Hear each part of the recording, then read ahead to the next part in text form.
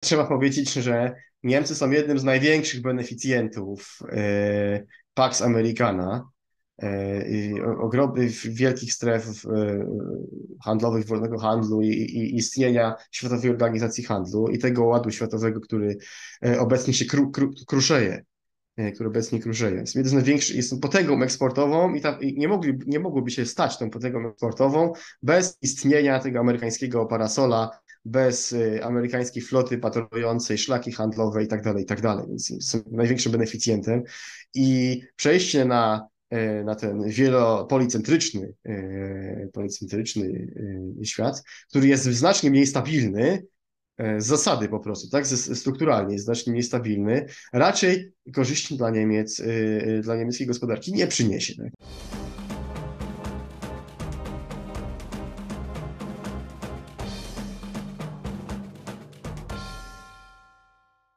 Dzień dobry Państwu. Łukasz Wyszyński i Paweł Kusiak witają na kanale Stosunki Międzynarodowe Akademii Marynarki Wojennej. Szanowni Państwo, niewątpliwie w ostatnich y, dniach tym, co zogniskowało uwagę opinii publicznej, są wydarzenia wokół Izraela. Nie możemy jednak zapominać, że równolegle na świecie dzieje się bardzo wiele procesów, które kształtują zarówno to, jak wyglądają stosunki międzynarodowe, ale będą także decydowały o przyszłości gospodarczej i politycznej świata i naszego kontynentu. Niewątpliwie jednym z takich y, punktów, który wymaga bardzo wnikliwej uwagi, jest problematyka Niemiec, miejsce Niemiec w europejskiej polityce, w polityce światowej, no i nasze polskie stosunki z Berlinem. I temu chcielibyśmy dzisiaj poświęcić naszą rozmowę. Dlatego jest mi bardzo miło przywitać i powitać naszego dzisiejszego gościa, pana doktora Piotra Andrzejewskiego, analityka Instytutu Zachodniego w Poznaniu w, w ramach zespołu Niemcy, państwo, społeczeństwo, gospodarka. No, pan doktor jest ekspertem, który też i publikuje i komentuje sprawy dotyczące nie tylko polityki Niemiec, ale także Austrii. E, I mamy nadzieję, że w tym obszarze uda nam się dzisiaj podyskutować. Panie doktorze, witamy bardzo serdecznie i dziękujemy za przyjęcie zaproszenia. Wypada mi tylko podziękować za zaproszenie. E, panie doktorze, pierwsze pytanie, może takie trochę banalne, ale porządkujące i niewątpliwie w istocie fundamentalne. Jak wojna na Ukrainie, czy też rosyjska inwazja na Ukrainę wpłynęła na gospodarkę Niemiec?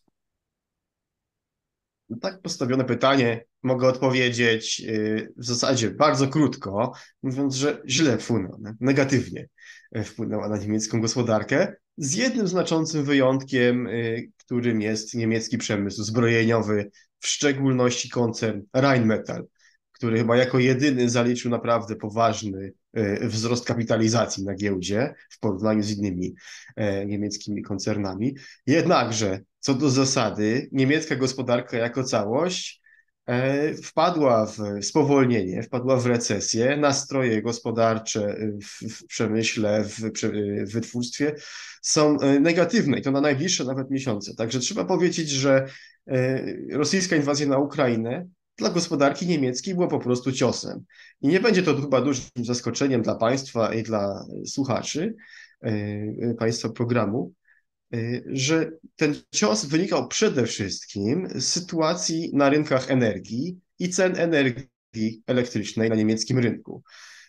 Ich radykalny, skokowy wzrost oraz idąca za nim w ogóle, patrząc makroekonomicznie, inflacja spowodowała, e, że nie tylko to, że przeciętne niemieckie gospodarstwo domowe ma mniejszą siłę nabywczą, zaczyna oszczędzać, zaczyna szukać innych produktów niż niemieckie, e, ale to też powoduje, że niemieckie koncerny, przemysł zaczyna tracić jeszcze bardziej swoją konkurencyjność.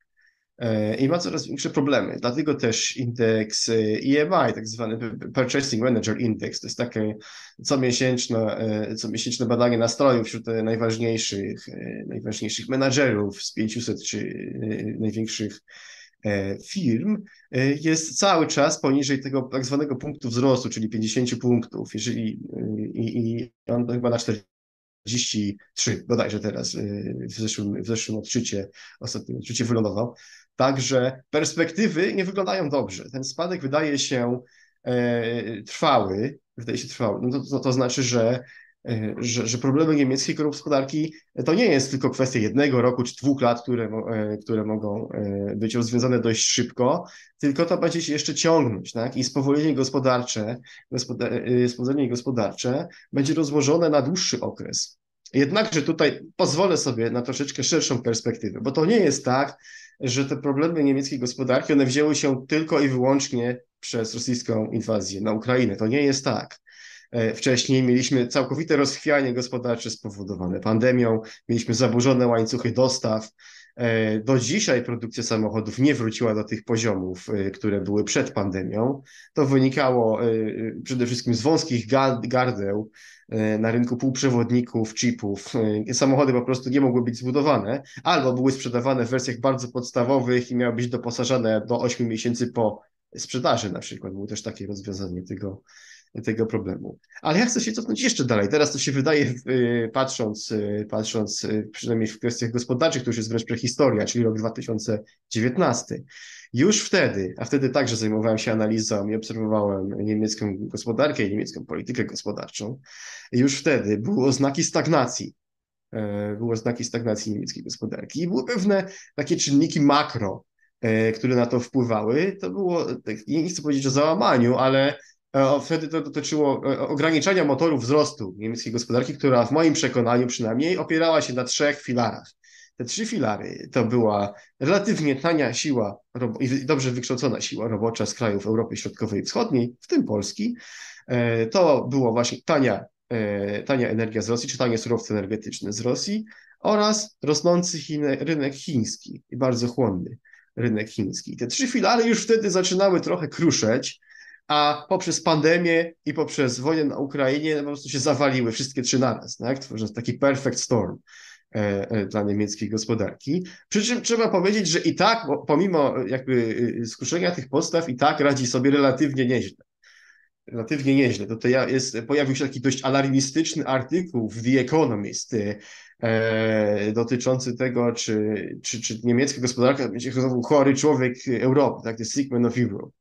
E, czy, czy ta gospodarka e, e, będzie miała tak ogromne problemy, że może mówić, że Niemcy będą chorym człowiekiem Europy.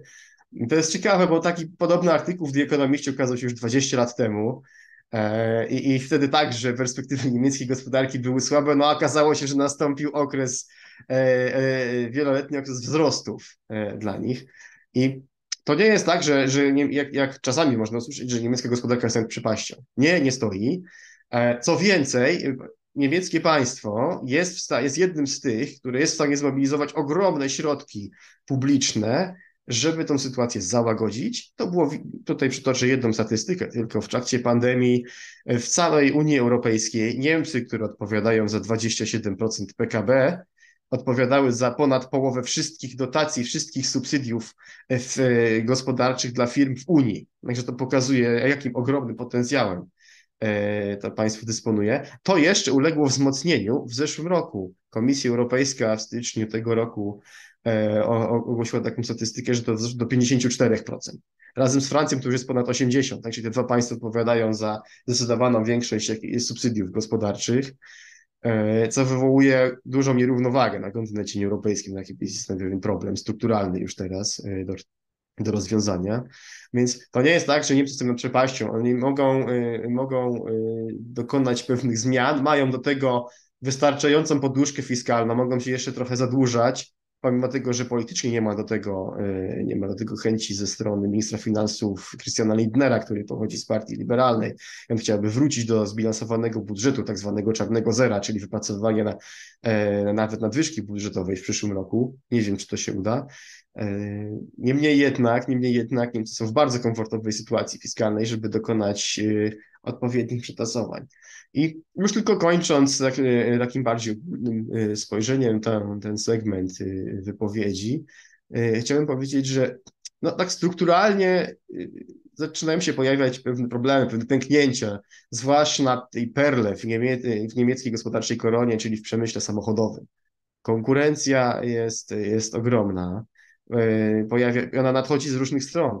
przychodzi ze strony amerykańskich firm takich jak Tesla, ale także z firm, e, firm z państw azjatyckich, z, z Japonii, z Korei, coraz bardziej z Chin, które bardzo mocno zainwestowały w elektromobilność. Niemcy są spóźnione troszeczkę, jeżeli o to chodzi.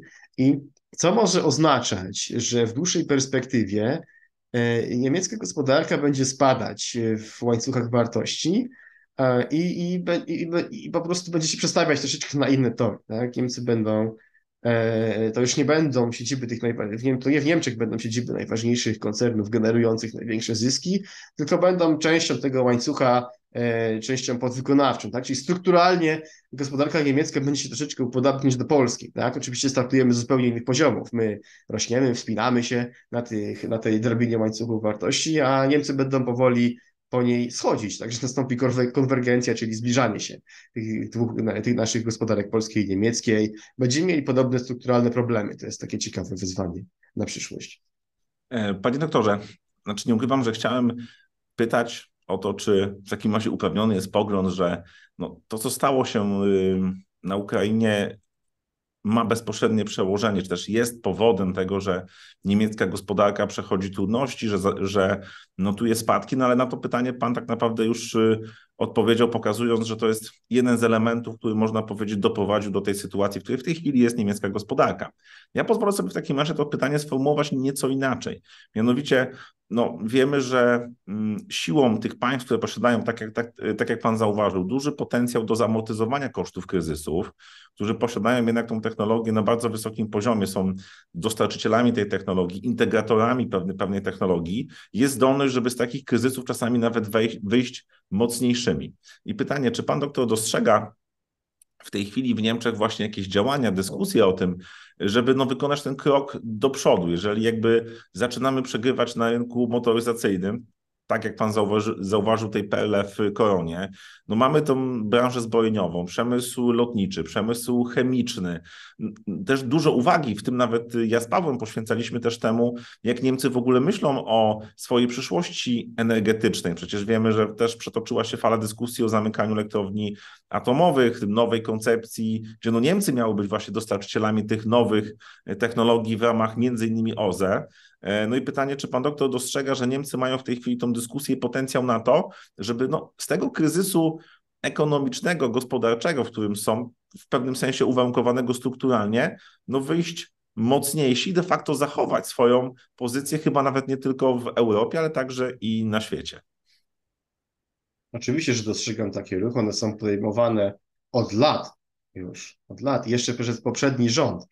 E, wtedy ministrem gospodarki był e, całkiem pokaźnych rozmiarów e, Peter Altmaier z Unii Chrześcijańsko-Demokratycznej CDU, z partii CDU, pod rządami jeszcze kanclerz Angeli Merkel. I to on już wtedy wymyślił, że no, musi nastąpić pewne przystosowanie i ucieczka do przodu. I chciał wykorzystać także pandemię do substytuowania tych gałęzi gospodarki, które on uznał za przyszłościowe.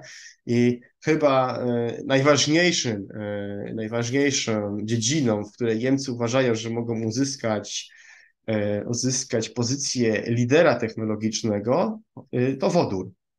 Niemcy chcą rozwijać technologie wodorowe, produkcję, ale też przytrzymywanie energii w wodorze.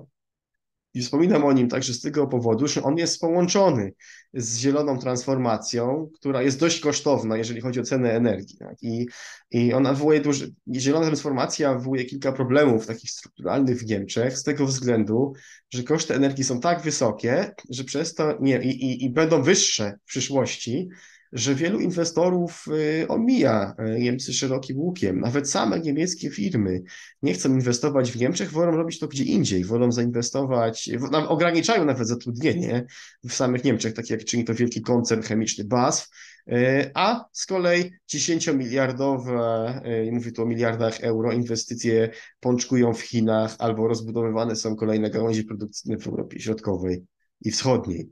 E, także to, to jest, jest pewien problem, tak? To jest pewien problem e, dla Niemiec, e, jeśli chodzi o, o energię. No ale to jest rezultat polityki, którą Niemcy prowadzą od ponad dekady, tak? energii, energii wędę, transformacji, tego przełomu energetycznego, no, który, który wywołuje ogromną presję na niemiecki przemysł, zabijając jego konkurencyjność po prostu, tak? czy, czy dławiąc, dławiąc jego konkurencyjność. Ale wracając do pierwszej części do pierwszej części Pana pytania i do tego wodoru, tak, że Niemcy chcą, e, chcą tutaj e, zostać światowym liderem, podpisują dziesiątki umów, bo sami nie są w stanie wyprodukować tych ilości wodoru, który byłby potrzebny dla niemieckiej gospodarki. Podpisują umowy z krajami globalnego południa, z RPA, z Chile, z Arabią Saudyjską na, na produkcję i transport tego tak zwanego zielonego wodoru, to jest bardzo ważne, że wodór był zielony, to znaczy wyprodukowany bez spalania E, bez spalania węglowodorów, tak? to jest, czyli przy użyciu odnawialnych źródeł energii po prostu. I do tego, do tego ma, ma do, do, tego, to ma być pierwszy etap do rebrandingu niemieckiego. Dotychczas produkt made in Germany, no to oznacza pewną taką techniczną solidność, inżynieryjną e, doskonałość. Do tego Altmaier wymyślił ten rebranding, żeby E, żeby te produkty, które będą powstawać w przyszłości w Niemczech, miały markę Clean Product Made in Germany, tak? żeby to był produkt e, nieobciążający klimatu dodatkowo. Więc to są takie chyba dwa najważniejsze, dwie najważniejsze próby ucieczki do przodu. E, bo niemniej jednak no jest pewne, jest też takie poczucie zagrożenia, że w, nie tylko przemyśle samochodowym, ale tych, które Pan wymienił, tak, przemysł chemiczny, e, przemy, jeszcze chciałbym dodać przemysł optyczny, tak, bardzo ważny, e, bardzo ważny dla Niemiec, czy farmaceutyczny, no, że istnieje e, a, i, i, i zwłaszcza motoryzacyjny, że istnieje tutaj bardzo duże ryzyko, e, bardzo duże ryzyko takiej trwałej e, utraty konkurencyjności. To jest coś, co już się stało na rynku komputerowym i rynku elektroniki e, dla Niemiec. Tak? Tutaj, w, tych, w tych, tutaj już Niemcy politycy w dokumentach strategicznych uznają, że utrata przewag konkurencyjnych w tych gałęziach gospodarki niemieckiej ma charakter trwały i jest nie do odbudowania. E, przynajmniej nie w najbliższej, nie w perspektywie najbliższej dekady.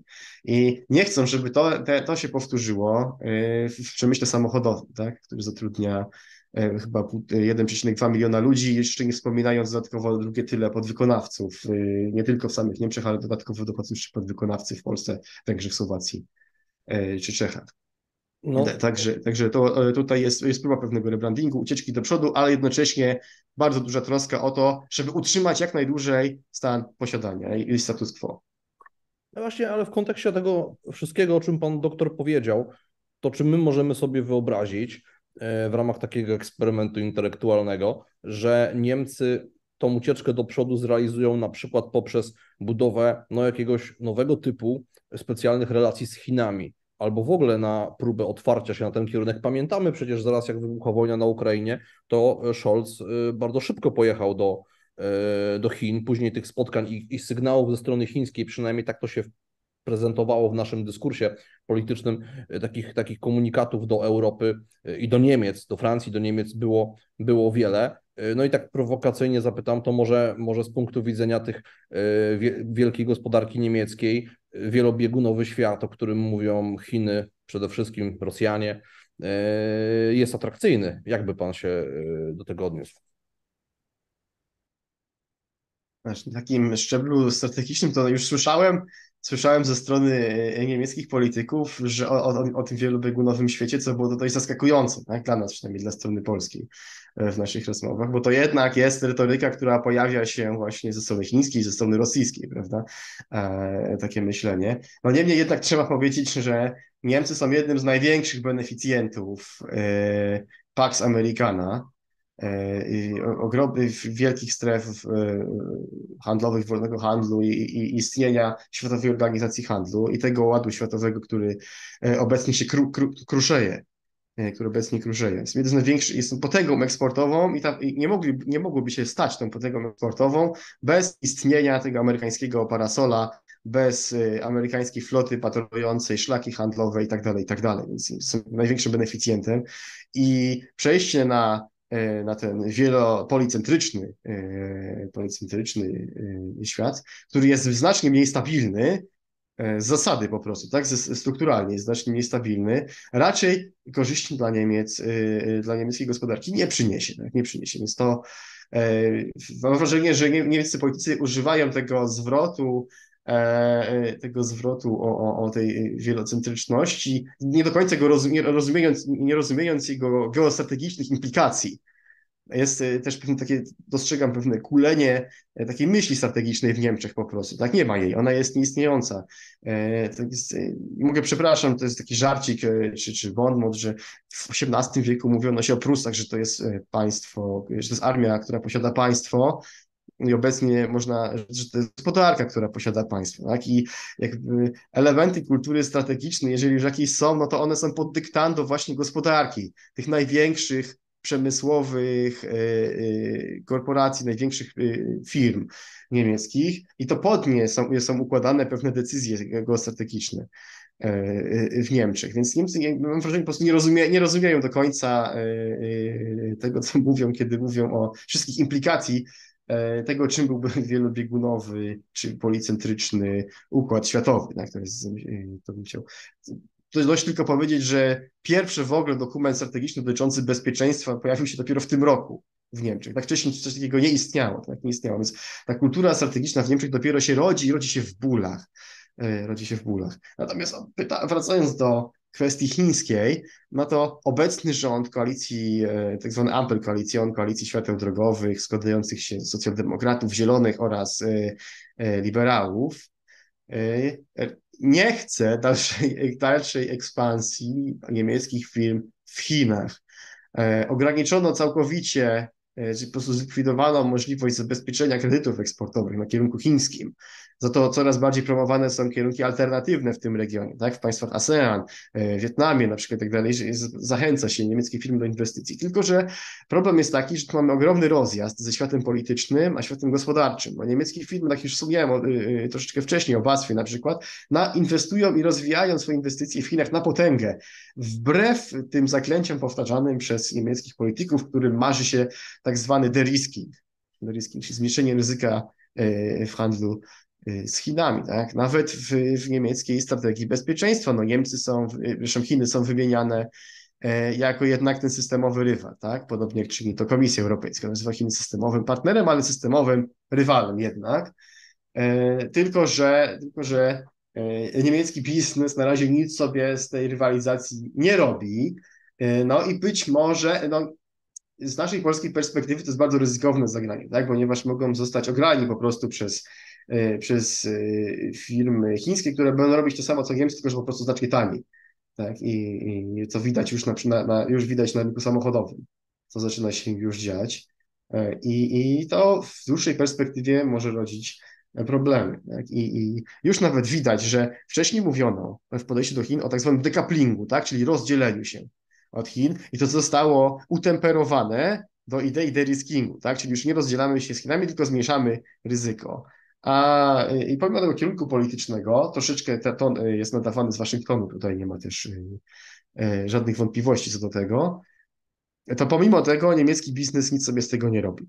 Nic sobie z tego nie robi. Tworzy to ryzyko zwiększając, tak? Więc nie ma, mówimy tylko o de-riskingu, ale de facto się to ryzyko powiększa.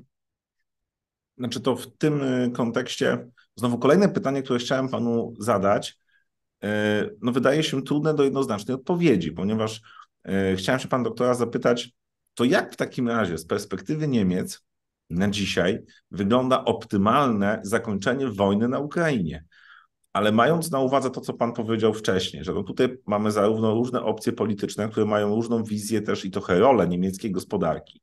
Nawet jeżeli patrzymy na to oczywiście jako pewną formę anegdoty, ale no możemy z niej odczytywać, że jednak przemysł niemiecki no w dużym stopniu kreuje tą y, sferę polityki, co oczywiście przekłada się też na myślenie strategiczne. Czy mając to wszystko na uwadze, jesteśmy w stanie dzisiaj pokazać, e, jak właśnie z tej niemieckiej perspektywy, oczywiście zdaję sobie sprawę, że ona może być zależna od wielu elementów, wygląda najbardziej chyba optymalne dla nich zakończenie dzisiaj wojny w Ukrainie. No i pytanie jest jeszcze takie, czy mm, generalnie Niemcy nie mają w tej chwili problemu z tym, co się dzieje na Ukrainie, no bo wiemy, że w kontekście tego, czego nawet, co, co, ja, co ja zaznaczyłem na samym początku naszej rozmowy, czyli mamy znowu odgrzany kryzys e, na Bliskim Wschodzie, no to w tych państwach zachodnich pojawiają się głosy, że no nie do końca mamy już zasoby, to są duże koszty, żeby cały czas Ukrainie pomagać. No i Niemcy tutaj jakby często wymieniane są przede wszystkim w Polsce, tak, ale mimo wszystko jako państwo, które jest nacenzurowanym i w tym kontekście pojawiają się także takie hipotezy. Wiem, że to są skróty myślowe, no, że może w interesie Berlina byłby powód do business as usual, tak, y, z Federacją Rosyjską, więc jakby no, o te spekulacje i o Pana perspektywę chciałbym w tej chwili właśnie zapytać. Z całą pewnością istnieją środowiska, zwłaszcza w kręgach gospodarczych, żeby do tego business as usual i do tych tanich węglowodorów rosyjskich wrócić. Tylko, że no, z powodów y, ideowych i politycznych to się wydaje po prostu niemożliwe. Się wydaje niemożliwe. Nastąpiła jednak pewna konsolidacja w świecie zachodnim i jednym ze skutków tej konsolidacji jest to też, że Niemcy bardzo mocno zaczynają zbliżać się do y, Stanów Zjednoczonych. Nic nie chcą zrobić. E, e, nikt nie chcą zrobić sami. Zawsze decyzje mają być podejmowane wspólnotowo i zawsze mają być podejmowane e, podejmowane wraz ze Stanami Zjednoczonymi. Tak? Więc to jakby Niemcy chowają się pod tą amerykańską spódnicę w tych kwestiach strategicznych i to jakby też ich zwalnia z takiego, zwalnia ich z określania tego, jak oni by chcieli widzieć zakończenie wojny na Ukrainie. Nastąpiła pewna zmiana w mentalności, bo jeszcze na, na samym początku wojny no Niemcy chciały, żeby to był jednak konflikt trwały, tak niezależnie od tego, kto wygra, tak, czy nawet mogła strona rosyjska zwyciężyć i wtedy to dla nich, dla Niemców, dla Niemców wydawało się to jakimś takim scenariuszem optymalnym. Teraz jednak dostrzegam, dostrzegam już zmianę mentalności, zmianę myślenia i tego, że Niemcy przygotowują się na długotrwały konflikt. Już teraz ramy kolejnych budżetów e, Republiki Federalnej Niemiec zawierają do 2027 roku e, zapisy o finansowym wspieraniu Ukrainy. E, tutaj trzeba to podkreślić, że może jeżeli, jeśli na początku wojny no Niemcy nie były zbyt dużym donorem pomocy wojskowej dla Ukrainy, to jednak były i są i będą jednym z największych donorów pomocy finansowej. Przecież y, te finanse są podstawą prowadzenia wojny, tak? To jest słynny bon Napoleona o tym, że do wojny potrzeba trzech rzeczy, pieniędzy, pieniędzy, jeszcze raz pieniędzy. Tak? To, jest, to smarowidło maszynerii państwowej i, i, Niemcy, i Niemcy są jednym z największych, jeżeli obecnie nie największym jednostkowym dawcą pomocy finans, stricte finansowej, tak? Te środki, z będą wpłacone emerytury, opłacone wynagrodzenia dla e, ukraińskich urzędników i tak dalej, tak dalej, żeby po prostu ukraińskie państwo mogło działać i nie zapadło się samo w sobie. E, I, i, są, i Niemcy są jednych, jednostkowym, a największym donorem takiej pomocy finansowej. Do tego jeszcze dochodzą, e, dochodzą, dochodzi wsparcie unijne, w którym Niemcy także odgrywają jakąś tam znaczną rolę. E, I, I, to bym chciał podkreślić. Także są, widać, że niemieckie elity nastawiają się na długotrwały konflikt. I, i, i same nie będą, nie będą wyrażać takiego zdania, jak, ma, jak, jak według nich wygląda najbardziej optymalne zakończenie wojny na Ukrainie. Widać też, że nastąpiła pewna zmiana co do, e, co do tego, jak ma wyglądać e, e, kontynent europejski po zakończeniu konfliktu. Już niezależnie od tego, jaki, jaki geograficznie zasięg będzie miało niepodległe państwo ukraińskie, to w takim kształcie ma ono zostać przyjęte do Unii Europejskiej. I to już jest coś, co jest w Niemczech akceptowane. Tak? Wręcz zaczęto uważać ten scenariusz przyjęcia Ukrainy jako zgodny z niemieckim interesem. I wydaje się, że Niemcy będą do tego dążyć. Pytanie, jakie trzeba sobie zadać, to czy, y, czy Ukraina zostanie do Unii przyjęta bez, y, bez stabilnej sytuacji bezpieczeństwa. Tak? A taką stabilność wydaje się, że może dać tylko i wyłącznie akcesja do NATO, która jest znacznie bardziej trudniejsza. Nawet, nawet sam, sam prezydent Rosji, Władimir Putin, wspominał w, w wykładach wałdajskich, że jest w stanie zaakceptować wejście Ukrainy do Unii Europejskiej, ale nie jest w stanie zaakceptować e, akcesji do Paktu Północnoatlantyckiego. Także tutaj, e, tutaj no jest cały czas wiele, wiele znaków zapytania, wiele niepewności. E, w każdym razie Niemcy na pewno ostrzą sobie, to nie jest tak, że Niemcy to wszystko robią z dobroci serca, tylko po prostu ostrzą sobie też zęby na E, te ogromne, ogromne fundusze, które będą e, przeznaczone na odbudowę zniszczonej Ukrainy. Tak? I chcą tutaj Niemcy niemieckie firmy wieść prym e, w tym względzie, bo też trzeba przyznać, że, no, że jednak jest to jedna z największych gospodarek na świecie i, i, i jest to państwo, czy gospodarka, które takim potencjałem do odbudowy Ukrainy po prostu dysponuje. Dysponuje, bo nawet przy szczerych, dobrych chęciach Polska oczywiście w, tym, w tej odbudowie weźmie udział, ale nie ma takiego potencjału, żeby sprostać wszystkim wyzwaniom na odbudowę, na odbudowę państwa ukraińskiego, całej tej zniszczonej infrastruktury, na przykład energetycznej. Tak? Tutaj, tutaj Niemcy mogą odegrać znacznie ważniejszą rolę w no, tym względzie. Wspomniał Pan doktor właśnie o Unii Europejskiej i możliwym dołączeniu, czy też potencjale, perspektywie dołączenia do niej Ukrainy do Unii, ale i tutaj by warto było zapytać o rolę Niemiec w Unii Europejskiej, bo jak tak wrócimy do tego świata sprzed wojny na Ukrainie, no to pamiętamy te dyskusje na temat przywództwa w Unii Europejskiej po wyjściu, po Brexicie. Czy to będzie duet E, francusko-niemiecki, czy Niemcy powinny być liderem, a jeszcze wcześniej, kiedy sięgniemy pamięcią, pamiętamy jak jeden z, no, polski minister spraw zagranicznych wręcz nawoływał tak, w Berlinie do tego, żeby Niemcy zajęły miejsce, yy, zajęły miejsce lidera. Oczywiście tu musimy pamiętać o kontekście, nie chciałbym teraz tego komentować, tylko wracam, używam tego jako pewnego symbolu. Yy, wojna na Ukrainie w pierwszej fazie, mam takie wrażenie, no, podkopała ten niemiecki autorytet, ale tak jak pan zauważył na końcu, no to jest olbrzymia gospodarka. Niedawno nagrywaliśmy rozmowę na temat Trójmorza, no i tam należy podkreślić, że niemiecka gospodarka jest większa niż suma gospodarek e, całego e, Trójmorza i to nawet w tej roz, takiej liczon, liczonego w najbardziej takiej rozszerzonej wersji, więc pamiętajmy o, znajmy proporcje. I jak pan na to patrzy? Czy Niemcy, w kontekście też tego, co powiedział pan jeszcze wcześniej o pewnym kryzysie myśli strategicznej w Niemczech, czy Niemcy mają potencjał, żeby wejść w rolę lidera Europy, takiej, no, tej, która ukształtuje się po wojnie na Ukrainie, bo jej wynik na pewno na pewno y, wpłynie na to. No i czy, i czy to jednak no to, to Niemcy stworzą tą nową Unię Europejską, tej dru może drugiej połowy XXI wieku? wiele pytań e, naraz, to trzeba rozłożyć na czynniki pierwsze, tak, e, te pytania. E, najpierw w ogóle, czy Niemcy mają potencjał do przewodzenia Unii Europejskiej? W moim przekonaniu, no nie, nie do końca, nie mają.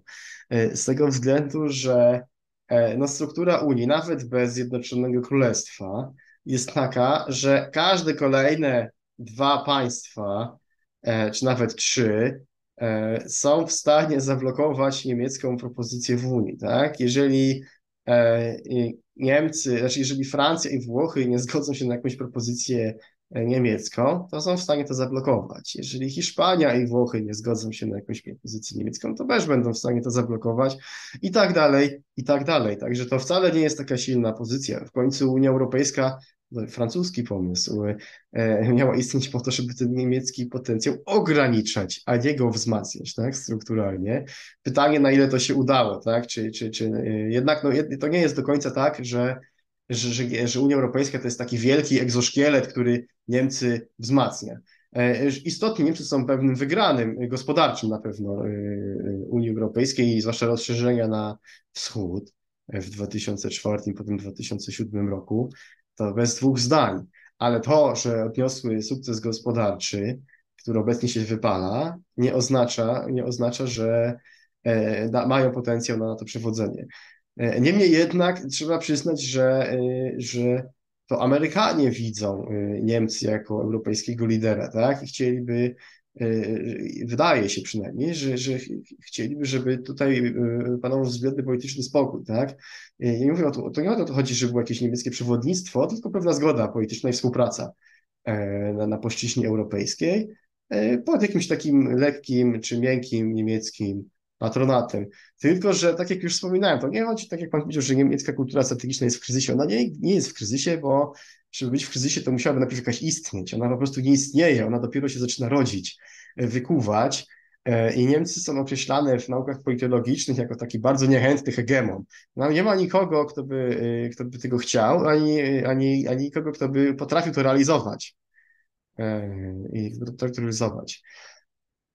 Drugi wątek dotyczący tego niemieckiego wizerunku po pierwszych miesiącach rosyjskiej inwazji na Ukrainę kiedy wieszczono już upadek y, tej potęgi moralnej i tak dalej. No jak widać, Niemcy dość szybko się odbudowały po tych potknięciach, e, po tych potknięciach z początkowych miesięcy. E, I, i to zostaje powoli zapomniane, tak? Zostaje to powoli zapomniane. Jednak okazuje się, że ten siła gospodarcza, siła polityczna jest ważniejsza niż błąd popełniony niż, niż, niż błąd popełniony. Błąd kosztował tylko kilka miesięcy wizerunku, prawda? A jednak udało się go naprawić, czy przynajmniej naprostować niektóre ścieżki, w tym spędzenie żadnego kluczenia ze strony Niemiec, jeżeli chodzi o kwestię rosyjskiej inwazji na Ukrainę. E, także no te wszystkie e, dość takie publicystyczne tezy, które krążyły e, w polskiej przestrzeni publicznej rok temu, okazały się nietrafne. Okazały się nietrafne. Natomiast ja bym tutaj chciał wrócić do takiego szerszego spojrzenia z początku naszej rozmowy dotyczącej tego, że ten niemiecki potencjał w ogólnej perspektywie będzie jednak mala. On będzie się kurczył, tak? I to będzie dla Niemiec stanowić stanowić coraz większy problem, będzie coraz większym wyzwaniem. No to oznacza, że nawet jeżeli mają jakieś, e, jakieś roszczenia do tego, by odgrywać większą rolę na arenie międzynarodowej, czego największą egzekwifikacją jest chyba to, że pojawiają się pomysły, by Niemcy dołączyły do Rady Bezpieczeństwa ONZ jako stały członek. Tak, to jest, e, to jest chyba taki najważniejszy punkt, praktycznie chyba od, obecnie niemożliwy do zrealizowania. E, tak nawiasem mówiąc, patrząc na siłę niemieckiej e, armii, tak, która jest słaba, jest bardzo słaba. E, to wojna na Ukrainie obnażyła wręcz rażącą słabość niemieckiej armii i, i zapasów zapasów Bundeswehry. No, były takie momenty, okazywało się, że na przykład niektóre jednostki miały amunicji tylko na to, żeby oddać jedną salwę. Dosłownie jedną salwę. Albo walczyć przez godzinę na przykład. Więc y, armia niemiecka ma ogromne problemy do tego, żeby wywiązywać się ze swoich zobowiązań sojuszniczych. Jeżeli w ramach szpicy NATO e, Bundeswehra musiała z, z, z, wielu brygad y, kolekcjonować sprzęt, żeby uzbroić tą jedną, która ma być w stanie gotowości, no to świadczy o, o, o, problemach. I to teraz jest problem, żeby wystawić jednostki na Litwę, prawda? To jest cały czas opóźniane e, e, przez Niemcy. I no, takie państwo które jest pozbawione hard power, tak? nie, ma, nie ma tej twardej siły, no nie może, siłą, siłą rzeczy nie może y, odgrywać roli lidera, tak? To jest duża słabość, to jest duża słabość i y, no, tą słabość może być zastąpiona tylko we współpracy europejskiej, tak? No to, to jednak Francja dysponuje najpotężniejszą armią europejską obecnie, tak? Jeżeli Polska rozbudowuje obecnie swój arsenał wojskowy, to nie powinno to być za darmo, tak? To powinno, y, y, ta, ta rozbudowa powinna następować w pewnym dialogu z partnerami europejskimi, e, nie tylko o to żeby wzmocnić naszą pozycję, tak, tylko żeby tą architekturę bezpieczeństwa, architektura bezpieczeństwa była bardziej, e, bardziej paneuropejska, widząc, że Niemcy kuleją, ale jednak mają mocną gospodarkę, no to niech chociaż przynajmniej e, za zabezpieczanie wschodniej flanki, no albo, albo zapłacą, albo, albo pomogą dozbroić, tak, w końcu jednak E, w końcu niemiecki przemysł zbrojeniowy jest potężny, tak? I mógłby, mógłby tutaj dokon- e, wspierać te nasze wysiłki, e, wysiłki zbrojeniowe. Ale ja nie jestem specjalistą od spraw wojskowych, tak? To są pewne detale, tak? Dotyczące sprzętu, kompatybilności i tak dalej, to nie chcę w to wchodzić. Chodzi tylko o, o ten aspekt polityki, czy też polityki gospodarczej, tak? Na to, tak na to patrzę, tak? Z tej perspektywy. E, że e, no, każde państwo europejskie obecnie zwiększa wydatki na zbrojenia, także Niemcy, chociaż robią to dość powoli, e, robią to dość powoli i to tylko jeszcze bardziej relatywnie osłabi pozycję Niemiec tak, na, na tej na, na, na europejskiej scenie politycznej. Tak, więc ten, Niemcy mają jakiś tam potencjał oczywiście do, przewoz, do przewodzenia europejskiego, jest najbardziej ludne państwo, jest to ogromna gospodarka. Już wspomniałem, że na przykład subsydia, no to yy, subsydiowanie gospodarki jest ogromne. Mm, jest ogromne, i, i, i, ale to też wywołuje napięcia, tak? zwłaszcza w krajach e, europejskiego południa, tak? w Włoszech, Hiszpanii, które takie subsydiowanie pozwolić sobie nie mogą. E, I, I są już próby czy podchody, żeby takie programy wspierania gospodarki były paneuropejskie, a nie narodowe, i żeby nie dopuścić do wyścigu e, dotacyjnego pomiędzy państwami członkowskimi. E, Unii Europejskiej, tak? I, i jednak zrobić, i przerzucić to na szczebel europejski, który osłabiłby Niemcy, tak? Więc jak widać, te tendencje są, to jest bardzo skomplikowana sprawa, ta struktura jest, jest, jest, jest e, dość złożona. I, i trudno, je, trudno tak mi jednoznacznie odpowiedzieć, tak? Czy, czy Niemcom uda się przewodzić w Europie. No w moim przekonaniu będzie im coraz trudniej. Tak z każdym upływającym rokiem będzie im coraz trudniej to robić. I być może E, dlatego Niemcy są tak chętni do wejścia e, obecnie Ukrainy do Unii Europejskiej, ponieważ no, każde rozszerzenie na wschód de facto je wzmacnia Niemcy.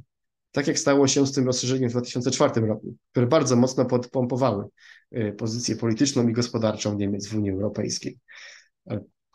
Mam nadzieję, że to jest, nie jest to może prosta odpowiedź, ale jest to jakaś odpowiedź na zadane pytanie. E, panie doktorze, w takim razie już w Pana odpowiedzi kilka razy padała Polska, więc pozwolę sobie na koniec naszej rozmowy postawić pytanie z gatunku słoń, a sprawa Polska, no bo e, to nie jest trochę tak, że mm, to, co dzieje się z Niemcami, nie, nie ma oddziaływania na nas. Znaczy, no, pan już o tym mówił, nawet już w kontekście potencjalnych rozstrzygnięć dotyczących przyszłości niemieckiej gospodarki.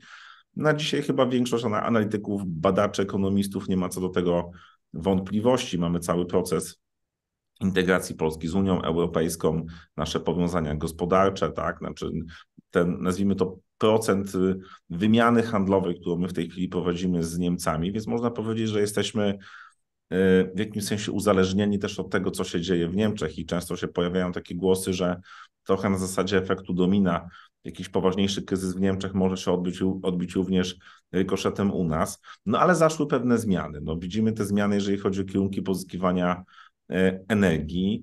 E, wspomniał Pan o tym, że no Polska tak, i to jest e, szeroko komentowane w Europie, w bardzo wydatny sposób zwiększyła swoje wydatki na obronność. No i właśnie, no i nie korzysta z rozwiązań przemysłu niemieckiego, tylko tutaj jakby też trochę tak strategicznie przeorientowała się na szeroko rozumiany przemysł amerykański, bo oczywiście no, najwięcej zakupów chyba w tej chwili realizujemy z Korei, mamy też y, Wielką Brytanię, no ale generalnie są to rozwiązania techniczne, które powstają też e, wokół przemysłu amerykańskiego. I czy zdanie pana, y, pana doktora, jak, może, znaczy jak z perspektywy Niemiec wygląda przyszłość relacji polsko-niemieckich w tym wymiarze właśnie takim gospodarczym i politycznym? To znaczy, czy tutaj y, będzie szansa na to, żeby tą współpracę zacieśniać, czy raczej będziemy musieli usiąść do stołu i określić, gdzie współpracujemy, a gdzie nasze interesy mogą być, czy też nasza, nasza perspektywa tych interesów będzie różna? Znaczy, przede wszystkim y, trzeba oddzielić y, sfery gospodarczą od sfery politycznej. Bo niezależnie od tego, kto rządzi w Polsce i kto rządzi w Niemczech, no to ten rozwój czy zacieśnianie współpracy gospodarczej jedzie niejako na autopilocie, tak? Nie jest w ogóle element polityczny potrzebny, tak? On mógłby wspierać to, ewentualnie troszeczkę e, e, dopompować tą współpracę gospodarczą, ale to nie jest już w zupełności potrzebne. 28% polskiego eksportu idzie do Niemiec. 20 e, z kolei 22% naszego importu pochodzi z Niemiec. Tak? Tutaj y, to bardzo ważne statystyki. One mogą być wręcz alarmujące z tego względu, że jest to zbyt duże związanie się z jednym, e, z jednym partnerem gospodarczym. Tak? I należałoby chyba zacząć myśleć o wspieraniu dywersyfikacji. E, o wspieraniu dywersyfikacji w różnych kierunkach, nie tylko europejskich w tym względzie. Tak? Ale też y, no, to nie jest tak. To, to jednak jest y, współpraca gospodarcza, na której wszyscy zyskujemy. Niejednokrotnie dzieje się tak, że dla polskich firm to właśnie ich niemieccy partnerzy są oknem na świat i oknem na, y, na możliwość globalnej dystrybucji swoich dóbr. I każde potknięcie czy zachwianie się niemieckiej gospodarki wpływa, negatywnie e, na poszczególne segmenty polskiego rynku ale ten miecz też ma dwa ostrze, tak? To jest jeden, jeden element. Drugi jest taki, że wspomniałem o tej inflacji, o rosnących cenach energii i ubożeniu e, statystycznego niemieckiego gospodarstwa domowego. Jest zauważona taka tendencja, że przy każdym kryzysie to samo działo się w 2008-2009 roku, to samo też działo się podczas pandemii, że kiedy, e, kiedy niemiecki konsument ubożenie zaczyna szukać produktów zastępczych, które są tańsze i czasami wychodzi na to, że są produkowane w Polsce, tak, albo w krajach Europy Środkowej, tak, rezygnując z produktów e, niemieckich czy zachodnioeuropejskich na rzecz tych produkowanych gdzie indziej. E, I sprzedaż, e, sprzedaż na przykład polskiego AGD wtedy w Niemczech wzrasta. Więc to, to oczywiście to jest sektorowo, tak, to każdy sektor inaczej odczuwa niemieckie spowolnienie gospodarcze, czy tą recesję techniczną, w której obecnie Niemcy są. Dla niektórych jest to szansa, dla niektórych E, e, budzi to zgrozę po prostu, tak? Czy ogranicza zyski, e, zmniejsza wolumen sprzedaży do Niemiec albo ogranicza możliwości eksportowe. I no to jakby to jest jedna rzecz. To tutaj jedyne, czego się spodziewam, to dalszy rozwój, dalszy rozwój tej wymiany handlowej pomiędzy Niemcami i Polską, z tego względu, że Polska cały czas ma jeszcze bardzo duży potencjał rozwojowy i rozwija się też szybciej, po prostu rozwija się też szybciej niż Niemcy. I te powiązania nie tylko z gospodarką niemiecką, ale ogólnie z gospodarkami europejskimi będą rosnąć. E, będą rosnąć, więc e, tutaj te więzy będą się jeszcze bardziej zacieśniać, tak? E, będą się jeszcze zacieśniać. A jeżeli chodzi o sferę polityczną, to widać nawet, że jeżeli te stosunki są relatywnie złe czy zamrożone, tak jak dzieje się to obecnie, no nie ma to praktycznie żadnego wpływu na współpracę gospodarczą. Tak? I, i, I kwestie polityczne mogą być pominięte w tych takich rozrachunkach.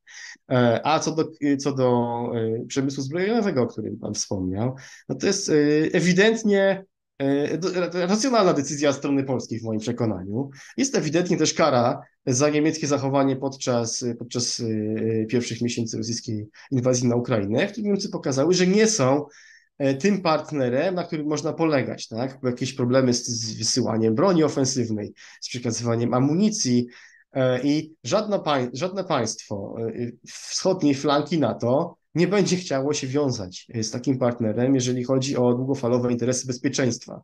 Więc jakby decyzja, e, decyzja polska, żeby współpracować e, z Koreą i budować razem z tą Koreą potencjał w Polsce, bo do tego to ma chyba prowadzić, tak, do produkcji tutaj, na miejscu, czy polonizacji koreańskiego uzbrojenia, wydaje się całkowicie racjonalna, tak, i jednocześnie dające jakieś dywidendy dla polskich podwykonawców i polskiej gospodarki.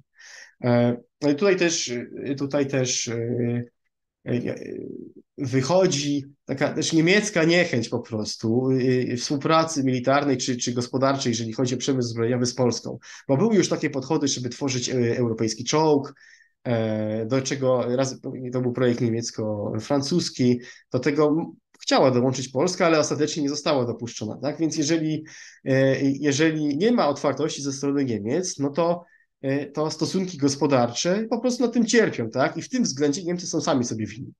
E, także, że Polska podejmuje takie, a nie inne decyzje. E, tak to widzę.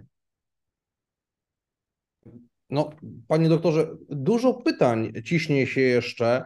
E, ale mam nadzieję, że to nie jest e, ostatnia okazja, kiedy możemy porozmawiać, no bo czas nas goni. Jakbym miał podsumowywać naszą rozmowę, no to e, warto tak chyba wyciągnąć takie dwa skrajne punkty, że z jednej strony musimy pamiętać, jak ważnym strategicznym partnerem dla Polski są Niemcy i to powiedział Pan teraz w tej odpowiedzi na ostatnie pytanie Łukasza, no że, że chyba trzeba się cieszyć, że gospodarka niejako Mm, nie chcę powiedzieć, że jest niezależna od polityki, bo nie jest, ale potrafi, y, współpraca gospodarcza potrafi mieć dynamikę, która nie jest tylko i wyłącznie politycznie y, wyznaczana, no bo to pewnie byłoby dużo gorzej niż, y, niż to rzeczywiście w tym momencie ekonomicznie wygląda.